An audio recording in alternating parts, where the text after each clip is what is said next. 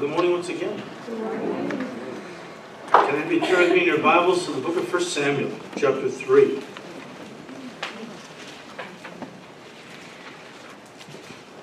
For those of you who are new with us, we have been looking at 1 Samuel on Sunday mornings at Calvary, and we're in a series that we've entitled The uh, Importance of Godly Leadership. Because whether you know it or not, as you read the book of 1 Samuel, and actually 2 Samuel too, the issue really that is at the core of these two books is the issue of leadership. Uh, as leaders go, so goes a nation. And at this time, the nation of Israel was suffering a breakdown. A breakdown morally and spiritually because of a lack of godly leadership, really.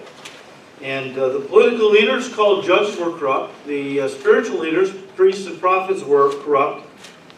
But God in His mercy wanted to bring revival to the nation. And so He purposed to raise up a new leader. Someone who would be a judge, prophet, and priest to the nation. And uh, someone He could use then to lay the groundwork for revival. Of course, that man, man's name was Samuel. Now, uh, as we have been looking at this section in chapter 3, um, we see that God outlines for us some principles with regard to ministry. Um, we're all called to be a minister. Some of us get to be pastors, but there's all kinds of things that God's people do in ministry to serve Him. And these principles that we're going to look at, that God used in Samuel's life to prepare him for a greater work of ministry for him, uh, we can adapt and apply into our lives. That's the, that's the whole idea, guys, okay? And as we look at how God prepared Samuel, the first thing he did was to give him godly parents. Now listen, to have godly parents is not mandatory to be used by God, but it sure helps. Okay, it sure helps. I mean, I was I was not raised by godly parents. I was raised by good parents. My mom and dad worked hard. We had a great home environment that we grew up in, but they weren't Christians. I often wonder if they had been Christians and started to train me in the Lord right away, how much sooner I could have gotten going with my ministry for the Lord. So, you know, Samuel, or Sam, yeah, Sam, I call him Samson first. We'll get to Samson eventually. Uh, no, no, he wasn't Samson, okay? But Samuel had the advantage of having godly parents who actually dedicated him to the Lord before he was even born. Now, we talked about this last week. Let me review a little bit. Um, first, preparation for ministry, if you have the grace of God to, to have it, is to have godly parents. And uh, Samuel's parents, Elkanah and Hannah, dedicated their son to the Lord, as I said, before he was even born. Now, in their case, they physically gave him up for adoption to be raised by Eli the high priest in the tabernacle, of the house of God. Now, that was radical. He said, yeah, man, to give your son up for adoption uh, so that he could be used by the Lord, that's pretty radical. Yes, it was, but uh, those were radical times. Some really radical problems back then. Radical problems require radical solutions, all right? The days of being a wishy-washy Christian and being used by God in our culture are over. Either you're going to get sold, be sold out for the Lord and be used by Him, or you're just not going to, you're not going to make it. It's, it, it's the, the culture we're living in is demanding us to choose. And uh, that's fine with me. Because we want Christians who have, like Joshua, you know, have chosen this day who we're going to serve. As he said, as for me and my house, we're going to serve the Lord. We need that kind of commitment today. But um, they dedicated their son to the Lord when he was just a baby, after he was weaned, about three years old. And then his mother kept encouraging her son in his service for the Lord. We read how that every year that when they came up, and Elkanah had two wives, Hannah and Peninnah, they would come up with their children to Shiloh, where the tabernacle was, every year for this Levitical feast, kind of like a Thanksgiving in our culture, but they all got together, okay, and had a feast before the Lord to thank Him, no doubt, for all He had done and, and worship Him. And every year when Hannah came up for this Levitical feast, she had made her son a set of new clothes because he was growing. So she made him a little robe and a ephod, a vest. Well, you know, that's what the big priests wore and the prophets, okay? So by keep by continuing to give him the clothes of a priest and prophet, she was encouraging him in his ministry for the Lord. All right? And, and that's how she did it. And um, because she laid a, a good solid foundation in Samuel's life right away, by, by dedicating him to the Lord and then encouraging him in his, in his ministry for the Lord, well, guess what? It stuck with him. And Samuel went on to wear the robe of a prophet for the rest of his life. The tone you set for your children's life when they're young often will carry them through the rest of their lives. So it's very important, okay? There are many Christian parents, as we said last time, that don't encourage their children to be serious in their service for the Lord at a young age. I guess the mindset is, you know, they're a kid. What are they going to really do to serve God? Look, let me tell you this. God has often used young people to speak to and through. Let me give you an example. On September 7th, 2001, a second grade teacher at the Calvary Chapel Elementary School in Finger Lakes, New York, gave the class an assignment. He told these seven-year-olds to draw a picture, anything they wanted, because they were going to hang them on the walls of the classroom. Well, you know, most of the kids drew things like uh, horses and rainbows and crosses and pictures of Jesus, the typical things that seven-year-old Christian kids would draw. All except for one boy who drew two tall buildings with planes crashing into them. The buildings were on fire and smoke coming out of them. And there were people in the air that had jumped out of the buildings. When the teacher asked the boy about it, he said, every time I went to draw, I couldn't get that picture out of my mind. The picture was so disturbing that the teacher wondered if they needed to send this boy for some counseling. As this was a very strange thing for a little, little boy to draw, very dark. Well, five days later, when the attacks happened on the Twin Towers in New York City, Scott, the pastor, got that picture and looked at it again in shock. He realized that God had spoken to that little boy to tell him what was about to happen. Today, that picture hangs in the sanctuary at Calvary of Philly as a reminder to everyone that God often will speak to children. He will often speak to children about what he is going to do. And we better not discount their little lives as being no big deal. God can't really use them because God has shown through this story and many others like it that he will often use little ones to communicate to and then through. And so we had better take their walk seriously. Starting right here in 1 Samuel 3, God is going to begin to change a nation with a 12-year-old boy. A 12-year-old boy who is about ready to use to change the nation.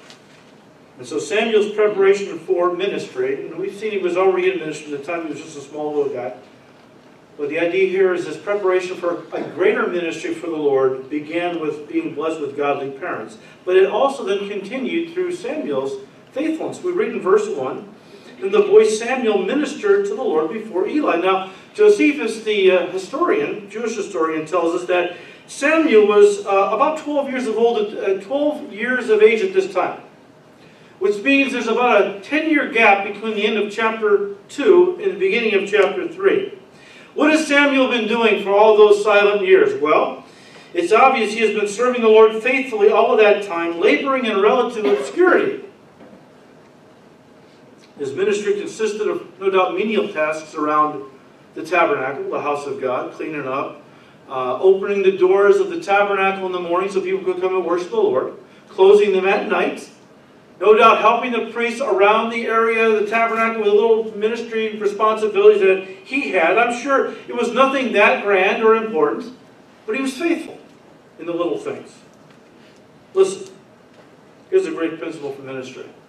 If you want God to use you in greater ways for his glory, listen. You must be faithful in the little things and please him in private because then he will eventually lift you into greater areas of ministry. David said in Psalm 101, I will walk within my house with a perfect heart. I will set nothing unclean before my eyes. Guys, what we are in private is what we really are. We can all come to church and put on the facade. We're good at that. But God sees the heart.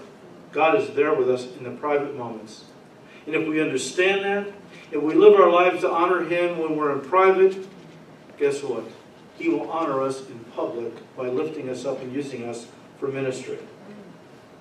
The third principle I see that comes out of this, this passage is, look, you be diligent when God is silent. We just saw how, you know, Samuel continued through faithful service uh, when, when he was serving in obscurity, okay? But listen, number three, you be diligent when God is silent. It says at the end of verse 1, And the word of the Lord was rare in those days. There was no widespread revelation. In other words, God wasn't speaking much in those days. Nothing exciting was going on. Why? Well, I'm convinced it wasn't that God didn't want to speak. It was just that he knew people didn't want to hear it. Now, sometimes God will talk even if we don't want to hear it. He's God, he can do whatever he wants. But as a nation, if a nation shuts their heart to God, well, as, God, as David told his son uh, Solomon, if you, if you pursue the Lord, he'll be found by you. If you forsake him, he'll forsake you. If a nation pursues God, God will speak to that nation. He will keep it on the right track. If a nation turns its back on God, God will turn his back on that nation. I think God wanted to speak. In fact, he was about to speak through a young boy. But for the most part, God had been silent. Why? Because people didn't want to hear it. This opened up during the period of the Judges, First Samuel does. Read the book of Judges. Five, six, seven times. God lays out what was going on in those days, why it was so bad, so dark. Everyone did, there was no king in Israel, so everyone did whatever seemed right in their own eyes. Everyone did whatever seemed right, there, there was no absolute truth. Was all relative. Hey, what's your truth is your truth, my truth is my truth. If you think it's okay, it's okay. I'm not going to lay a trip on you, don't lay a trip on me. Let's just do whatever we think is right. It's not that they didn't have God's word. It's not that they didn't know it was right. God had given his law through Moses. It was reaffirmed through Joshua, two godly men. The people knew what was right. The people knew what God had said. They just didn't care. They wanted to do their own thing. And those were the days Samuel was ministering in. These were dark and difficult days, not days of revival and encouragement. Look, when God is moving, everybody wants to be in God's house. When, God, when, when the Holy Spirit was moving in the 60s during the, during the Jesus movement, kids came from all over to get connected because God was moving. It was exciting. But when the Spirit of God began to withdraw, the excitement and all the wow stuff going on, and people had to settle into walking with God, not because they got a high, but just because now they wanted to love the Lord and walk with Him, a lot of those kids peeled off. Went back to their old lives. They weren't real. But those kids that stayed and grew up in the church, and they stayed because they loved Jesus and just wanted to serve Him no matter how hard it was, today many of them are missionaries and pastors and so on.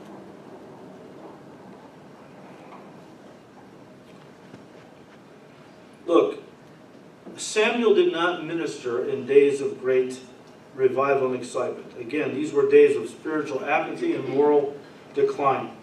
And those that did come to the house of God to worship, and, and by the way, even, even during some of Israel's worst times spiritually, they still went to the temple. Look at Isaiah chapter 1. God says, time out. Stop. Stop bringing me sacrifices. Stop observing the feast days. You're just going through the motions. I don't want religion from you. I want a relationship with you. Your hearts are not for me. I'm tired. I can't stand the singing anymore. It doesn't mean anything. Get your heart right with me.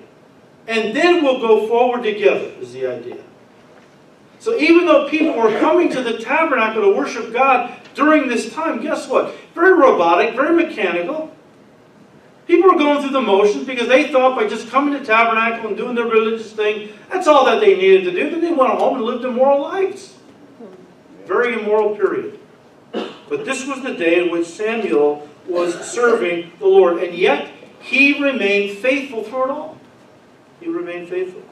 Look, too many Christians, as we said last time, only want to serve the Lord for what they can get out of it. The recognition, the thrill, okay? Uh, a greater sense of self-worth, even money. And sadly, a lot of pastors feed into that mindset. How? Well, they reward people with ministries who are the biggest givers. They reward people with ministries so that they don't leave the church. But let me tell you something, guys. Whenever ministry is man-focused and not Christ-centered, you will never produce godly, faithful servants. Because it's always about them.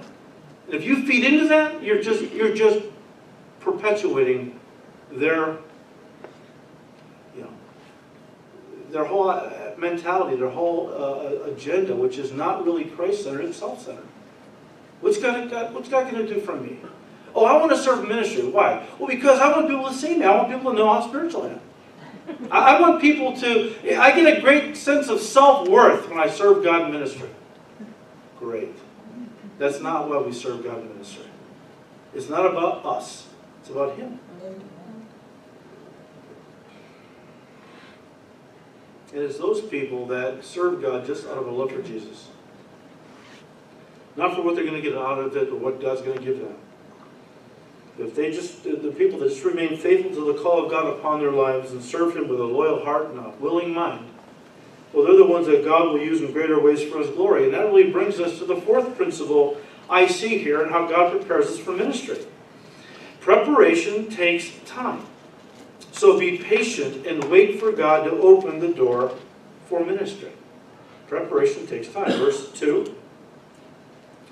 And it came to pass at that time, while Eli was lying down in his place, and when his eyes had begun to grow dim, so dim that he could not see, and there uh, and before the lamp of God went out in the tabernacle of the Lord, where the ark of God was, and while Samuel was lying down, that the Lord called Samuel. We read that God first spoke to Samuel before the lamp of God went out in the tabernacle of the Lord. Now, this lamp was called a menorah. It was a seven-branched oil-burning lamp. And on top of each of the seven stems, there was a bowl with a wick in it, and they would put oil in it. The idea was that God said when you, lit, when you light the menorah, it's always to remain on. It's supposed to be a perpetual light. It represents Christ. And Jesus is the light of the world. He never goes out. Okay? So, you know, they wanted to keep it going. That was what God said.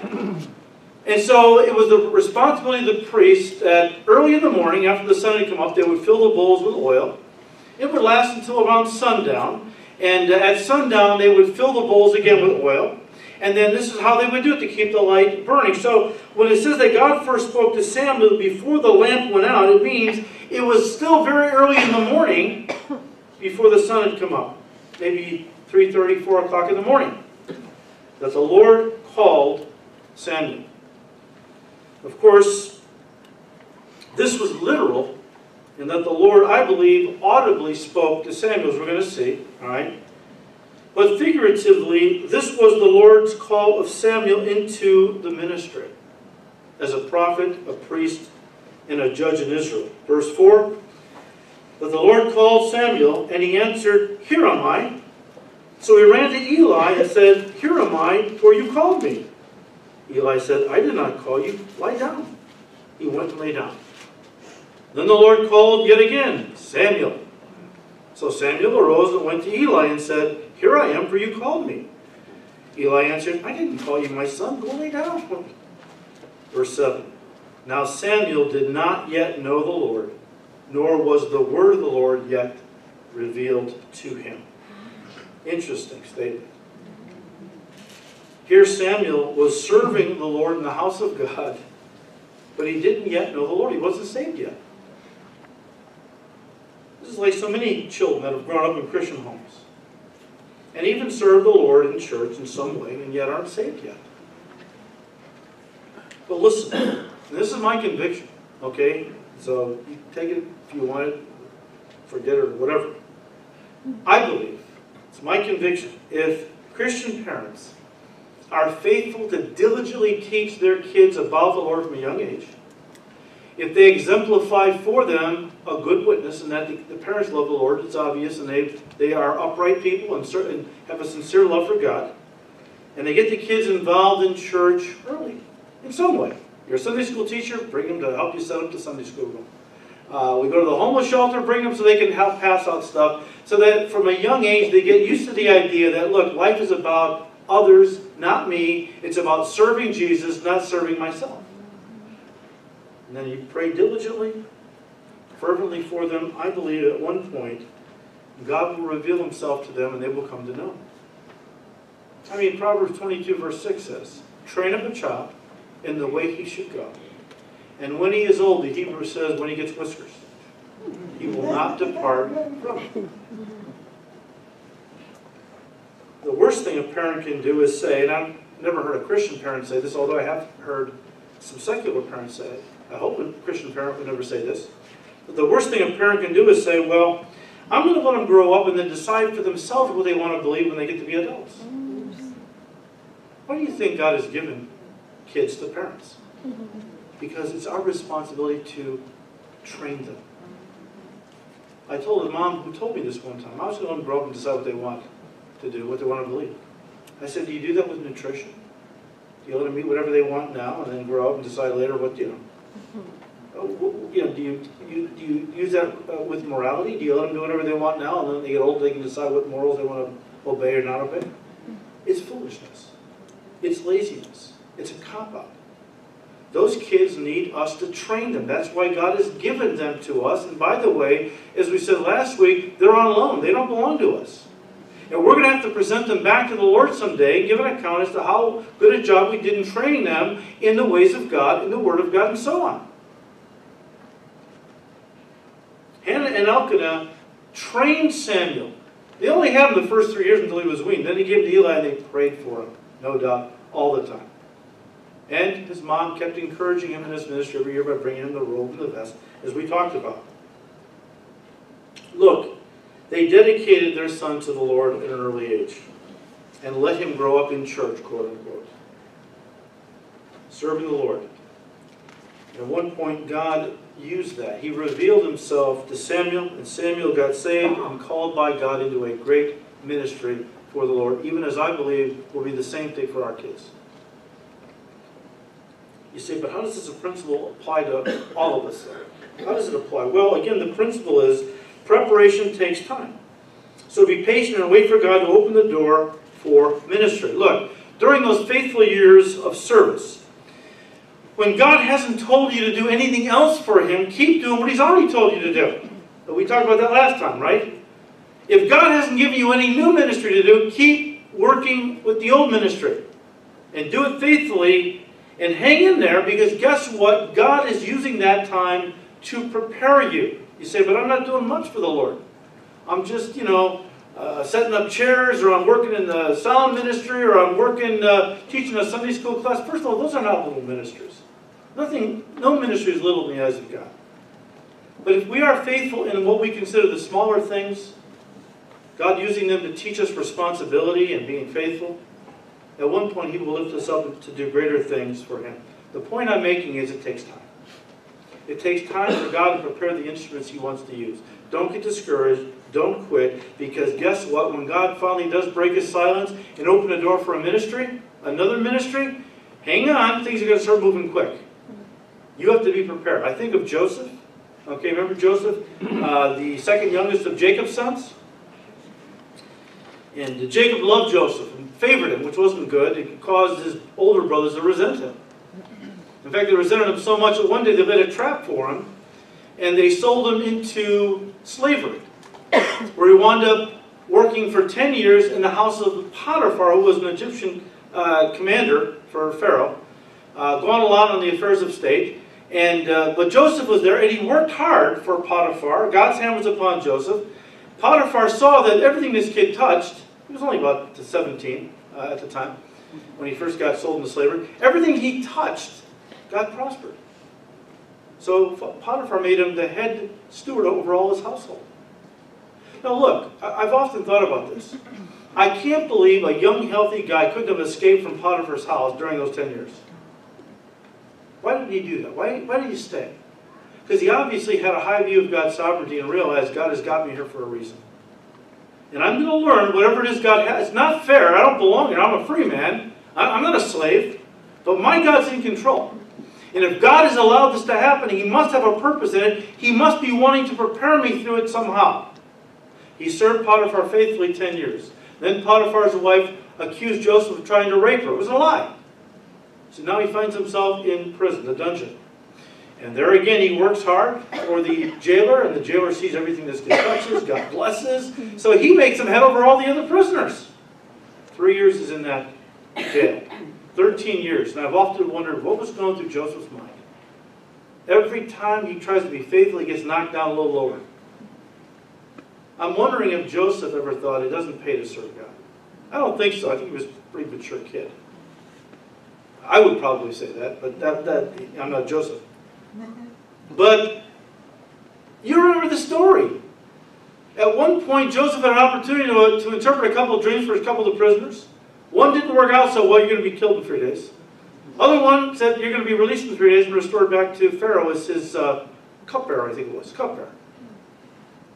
That happened, and the cupbearer forgot all about Joseph. Another year passes, three years total. Pharaoh has a couple dreams. Nobody can interpret them. The cupbearer says, man, I blew it. I, there's a guy in prison. I told him I was going to put a word in for him, I, you know, because he interpreted a dream for me. It worked out real well, It's like he told me. I forgot, you know. It was a God-given amnesia. Time wasn't right yet. And so Pharaoh calls for Joseph. They clean him up, of course. Stands before Pharaoh, interprets the dreams.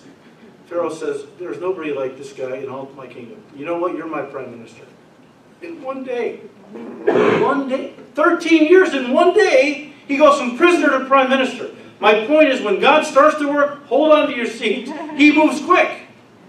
And you need to be prepared. Because if you're not, then he'll pass over you and call somebody else. Use this time to know the scriptures, to know your God, to serve him faithfully. Because when God opens the door, hold on to your seatbelts. Things are going to move quick, okay? And uh, we all want God to use us in greater ways, I believe. I'd like to think that as Christians. But be careful not to let your zeal cause you to rush the timing of God and get into a ministry He hasn't called you to or hasn't called you to yet. That will be a disaster. You gotta wait for God's timing. I think of Moses. Moses grew up in Pharaoh's house, and Moses knew, we learn this in the New Testament, he knew God had him there for a reason to be a deliverer. Because the children of Israel were in slavery at this time. So what did Moses do? He rushed the timing of God, so I'm going to be, God's calling me to be a deliverer, here we go. God says, oh no, we don't. Uh, you we don't do it on your timetable, Mo. We do it on my timetable. And so that caused Moses to have to flee. He had to leave Egypt. For the next 40 years, he, he uh, wandered in the deserts uh, with, as a shepherd. But even that, God was using him, teaching him. He had to prepare him to be a shepherd. When God wanted a king, he went to the shepherds. When Israel wanted a king, they went to the tall, dark, and handsome. That's always a disaster, by the way. They got Saul. And that was a disaster, and God says, okay, now you're ready for my king? Samuel, go to the house of Jesse. I'm getting ahead of the story, obviously. I've got a guy there I want you to anoint as king. First kid comes out, Eliab, looks good, man, good looking kid. And Samuel goes, this has got to be a Lord's anointed. The Lord spoke to Samuel and said, Samuel, don't look at his height, stature, okay? I don't look at the outward like you do. I'm looking at the heart. And eventually this little ruddy 14, 15 year old kid comes walking out. And God says, this is the guy. This is the guy. Samuel, I choose people to serve me not on the basis of what they are, but on the basis of what they can become as they walk with me. That's where that preparation comes in, guys. And David was anointed king. Why? Because God wanted a shepherd. A man who was a shepherd, who had a heart for sheep, would be a great leader of his people. And that's what God was working in Moses' life. And eventually, when God did call him, he was prepared. He was prepared. Look, the Bible says in Ecclesiastes 3, verse 1 For everything there is a season, a time, for every purpose under heaven. Seek God's timetable, not your own. And so God had prepare, been preparing Samuel for years for, for his ministry as prophet to the nation. And now the time had come to use him. Someone has said, God is never in a hurry when preparing someone for a work. And the greater the work, the longer he takes to prepare them. So verse 7 once again, Now Samuel did not yet know the Lord, nor was the word of the Lord yet revealed to him. There are many Christians who would confess that they have never heard God speak to them personally. Now, of course, he speaks through his word, and they know that. But they would confess they have never heard God speak to their heart personally about what he wants for them individually, for their personal life. They say things like, well, God doesn't talk to me. I don't believe that. It's not that God isn't speaking, it's often we're not, what? Listening. Remember how God spoke to Elijah? He spoke to him in a still, small voice. Why do you think God spoke to Samuel in the middle of the night? He was Because it's in the middle of the night that there's more, most quietness around us. Okay? The middle of the night. Why does God often speak to us in the middle of the night? And, and you know what? I'm convinced He's spoken to many of us in the middle of the night.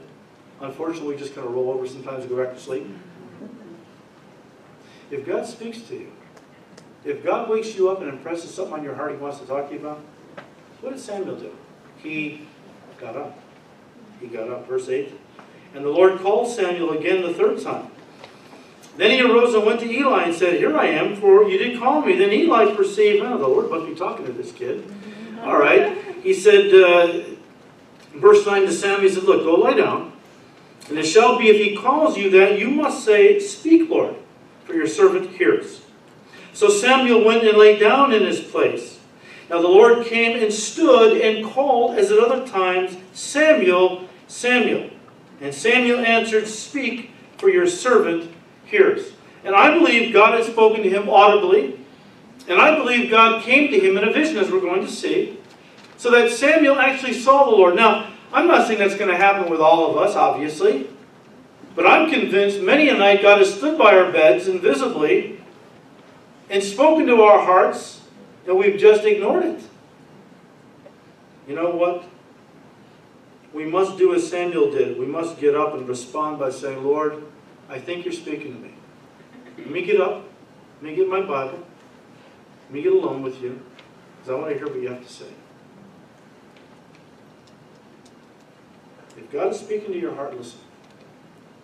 Who knows? He may be about to call you into an incredible ministry for His glory. And that brings us to the fifth principle. When God speaks, be ready to obey. When God speaks, be ready to obey. The problem with all too many Christians is not that they don't know what the Lord has told them to do. It's not, they're just not doing it. You ask them, well, has God spoken to you? Yes. He spoke to me about doing this ministry or that ministry. Well, how's it going? Well, haven't actually started yet. Well, why not? I'm waiting for confirmation. Well, how long has it been? Five years? Uh, I think now he's waiting on you. Okay? I'm waiting on God. I'm waiting on God. Well, after about five years, I would think that God's waiting on you now. Look, confirmation is great. I encourage you to seek confirmation if you feel God's telling you to get into a pretty incredible ministry. But sometimes we're looking for confirmation because we really don't want to do it. We're scared. It means making a dramatic change in my life, and I'm not ready to do that. So we want to sound all spiritual, but say, well, I'm waiting for confirmation. God's saying, you know, you're on the shelf there, buddy. I mean, you know, you're waiting for confirmation, I got you on the shelf. I'm going to other people. You want to jump down off the shelf and, you know, here I am, Lord, use me, I'll use you. Look, James says, don't be hearers of the word only, but be doers. Sometimes we come to church and we think, well, we've heard the word of God, that's all I need. God says, no, that's not a, an end in itself, it's a means to an end. The means is obedience. You hear the word of God so you can obey. That's the idea. What has God told you to do? Has God spoken to your heart about anything that He wants you to do? And what are you doing about it, is the idea, right? Well, verse 11, Then the Lord said to Samuel, Behold, I will do something in Israel in which both ears of everyone who hears it will what? Tingle. Huh. That's not the tingle of excitement.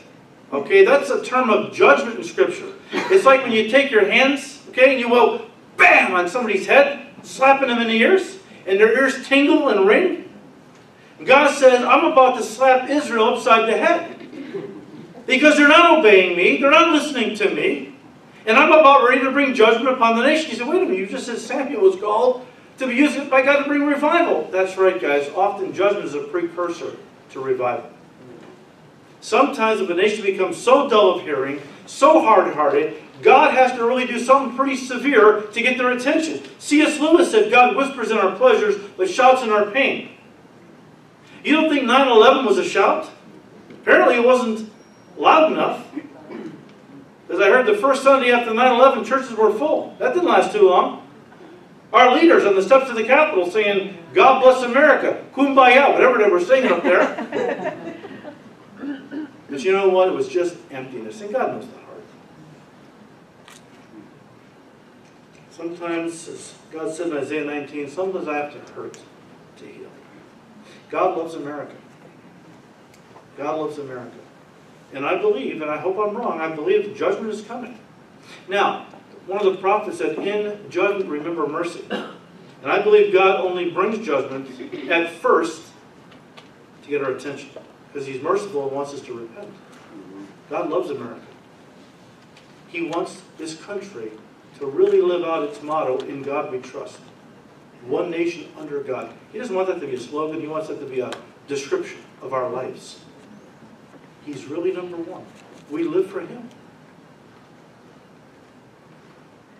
Well, verse 12, in that day, God said, I will perform against Eli. And all that I have spoken, I will perform against Eli, all that I have spoken concerning his house, from beginning to end.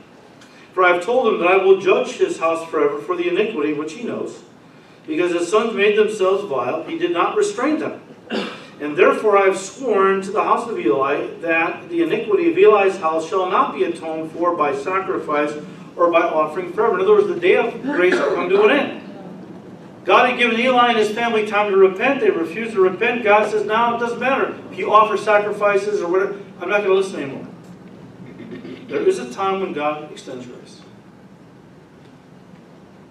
But if we harden our hearts, that time will come and go, and then God will bring judgment. Verse 15, so Samuel lay down until morning, opened the doors of the house of the Lord, and Samuel was afraid to tell Eli the vision. Then Eli called Samuel and said, Samuel, my son. And he answered, Here am I. He said, What is the word that the Lord spoke to you? Please, do not hide it from me. God do so to you and more also, if you hide anything from me of all the things that he said to you. Well, no pressure there, okay. then Samuel told him everything. Underline that. He told him everything and hid nothing from him. And he said, it, Eli said, It is the Lord. Let him do what seems good to him. The very first prophetic words that God gave to Samuel was to pronounce judgment upon the man who had raised him and on Eli's family. And you know, I, guys, I can only imagine how difficult that must have been for this young servant of God to obey God. That God was revealing himself to a word to Samuel because he was basically calling him into the ministry of a prophet. Samuel had two choices at that moment. Yes, I will obey you, Lord, or no, I reject what you're asking me to do. That's why I say this principle, when God speaks, be ready to what? Obey. Obey. I think sometimes God lets us languish for years, struggling in our walk with Him, struggling in our ministry for Him, because He's wanting us to be hungry. He's wanting us to be thirsty. So when He does reveal Himself to us in a new way, we're ready to go. We're, we want to obey. Remember what God said? I will pour my Spirit out on him who is thirsty, like water upon the dry ground. I would imagine this was very difficult for Samuel to obey what God was calling him to. But he had been prepared. He loved God. He was ready. The sixth principle I see here is this.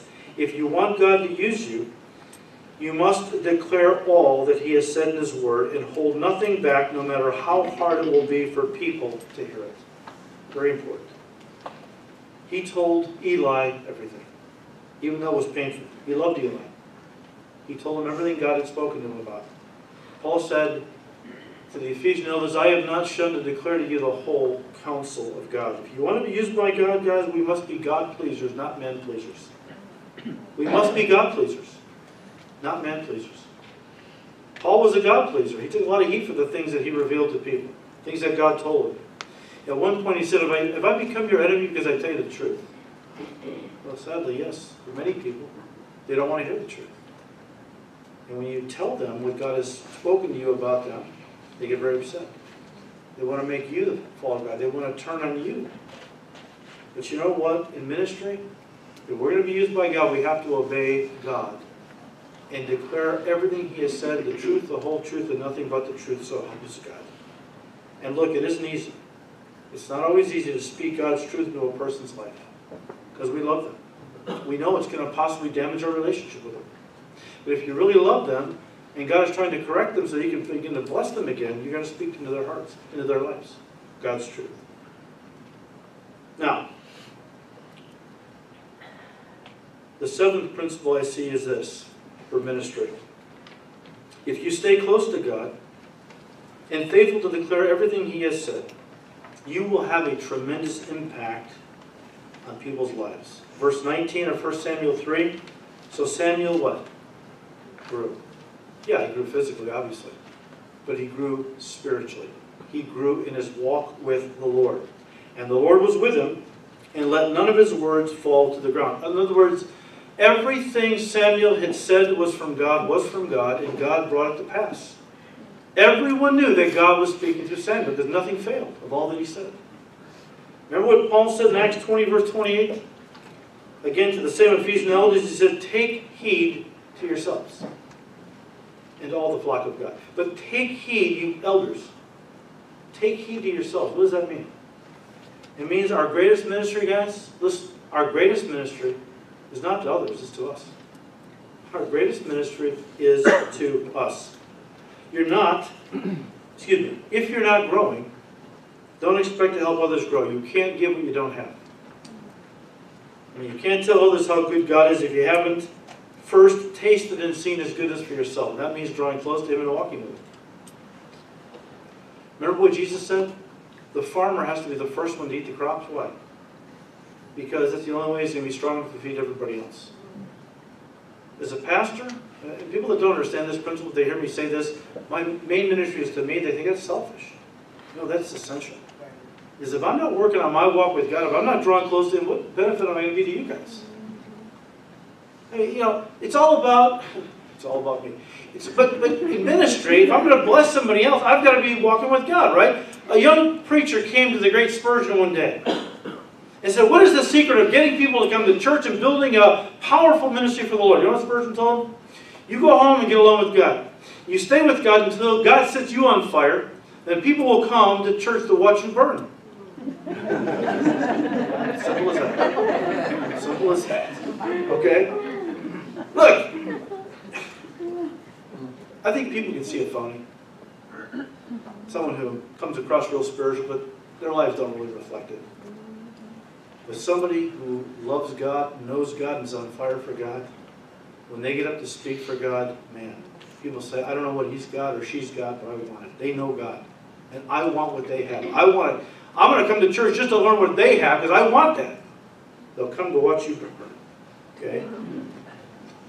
Number eight, give you two, uh, give you two real quick. Two more. Another principle for ministry. The result was, in Samuel's life, and it applies to all of us, the result was that God established Samuel in a far greater way than Samuel could have ever established himself. Verse 20, and all Israel, from Dan to Beersheba, in other words, from the extreme north all the way to the south, knew that Samuel had been, listen, established as a prophet of the Lord. They knew that, okay? Because Samuel walked with God, and uh, God eventually established him in a way in ministry that he could never have established himself in. Remember what Jesus said in uh, Matthew 23 to the, to the uh, Pharisees? He said, Whoever exalts himself will be humbled, but he who humbles himself or herself will be exalted. If we walk before our God with a pure heart and a humble heart, and we, we, we, we don't do it to, to be seen by people, we just do it because we love God, want to know Him, guess what? He will establish us. He will lift us up. And it won't be something we're doing. We're just loving the Lord. And He will be working through us. I'll give you one more. Number nine. As long as you remain humble and teachable, God will keep speaking to you to, to direct and use your life for His glory. Verse 21 Then the Lord appeared again in Shiloh. For the Lord revealed himself to Samuel in Shiloh by the word of the Lord. So Samuel continued to walk with God. He remained humble. He remained teachable. And God kept revealing himself to Samuel. And Samuel kept growing. And God kept using him. Very important principle. Let me just finish by saying this. In fact, turn to 1 John 2. I'm going to give you right now the greatest principle of ministry you'll find anywhere in Scripture.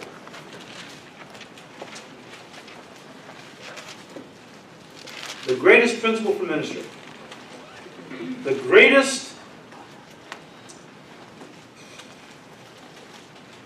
I don't know, just the greatest um, way a person could be used in ministry? This is it right here. Here's what John said. 1 John 2, starting in verse 26. He said, These things I have written to you concerning those who try to deceive you. There's a lot of deceivers out there. But the anointing which you have received from him abides in you. And you do not need that anyone teach you. But as the same anointing teaches you concerning all things, and is true, and is not a lie, uh, and just as it has taught you, you will abide in him. Remember what Jesus said before he went to the cross the night before in the upper room? Said, I have many things I want to tell you guys, talking to his disciples. You're not ready to handle it yet. But the Holy Spirit comes upon you. He will teach you all things. He will teach you. He will equip you for ministry. Guys, we don't need a degree to serve God. Some of the greatest pastors and preachers in the history of the church never went to seminary or Bible college. But God called them, and as the Bible says, whom the Lord calls, he what? He equips. I almost didn't get into ministry because I didn't have a degree. I thought, hey, I'm gonna, a doctor can't be a doctor without a degree, a lawyer can't be a lawyer without a degree. Why, why do I think I can be a pastor without a degree? Hmm. And God used my pastor to teach me that if the Lord calls you to go to Bible college and seminary, do it. If He calls you into ministry without those things, He will equip you. John says you have an anointing. That anointing comes from the Holy Spirit. It doesn't come from a, a degree on a piece of paper. You receive a degree on a piece of paper from a Bible college that says you're now, you know, what, you're now anointed? no, it says we now appoint you to ministry. God says, well, great. But unless I anoint them for the ministry, it doesn't mean anything. Look, don't be intimidated by all these people who have their degrees and say to you, well, you can't serve God. You don't have a degree. Um, remember when Peter and John were preaching in Acts 4? The Holy Spirit had come upon the church. The church was born. Peter went out preaching dynamically after he, God used him to heal a lame guy. Well, the Sanhedrin, the Jewish High Council, didn't like that. They called these two guys in. They cross-examined them, interrogated them. And Peter gave a bold witness. He was filled with the Spirit. It says in Acts 13, verse, chapter 4, verse 13, Now when these big shots, these learned men, saw the boldness of Peter and John, and perceived that they were uneducated and untrained men, that just means they didn't have a degree from their universities, they marveled. But they realized they had been with Jesus. Guys, if you take nothing with you today, if you want to be used by God, you hang out with Jesus. You hang out in the Word. You let the Holy Spirit teach you. You wait patiently for the Lord to open a door for ministry, and when He does, be ready because He's going to use you. Whom the Lord calls, He equips. That is the greatest principle for ministry I know. If you hang out with Jesus, you get to know Him. You sit at His feet like Mary did, so, soaking up His Word, His wisdom. I guarantee you, you will be more equipped for ministry than some guy with a PhD from Yale Divinity School or, or whatever. I tell you what, you give me a sixth grader who's spirit filled, I'll take that person any day over some egghead professor. they can write a lot of Greek and Hebrew in their sleep, but don't know the Lord. Anyway, I'm, I'm done. Uh, I better stop now. Uh, so, so God bless you guys. We just pray the Lord will give us grace to want Him to use us. It's never, can He use me? It, he can and will use anybody. It's, am I available? Will I present myself to Him and say, Lord, here am I. You send me. May God give us the grace to have that heart. Father, we thank you, Lord, for your goodness and grace. Lord, you don't need any of us. Lord, you don't need any of us to do anything. You're completely self-sufficient. But thank you that you've made us to be productive, and then you've called us into ministry to be productive for your kingdom. And Lord, give us grace to apply the, to meditate on these principles and to apply them into our lives. These are the last days. I know you're, you're moving quickly, Lord. There's not much time left. The work is great. The laborers are few. The- We don't have time to be fooling around, stumbling around. Lord, take us by the hand as individuals and as a church. And lead us into the work that you're, where you're working, that we can get in there and start serving you. We just thank you, Lord. We just praise you. We ask you to be merciful to America and bring revival instead of judgment, although sometimes they go hand in hand. We just praise you, Lord. Thank you for your goodness and grace. We ask all this in Jesus' name. Amen.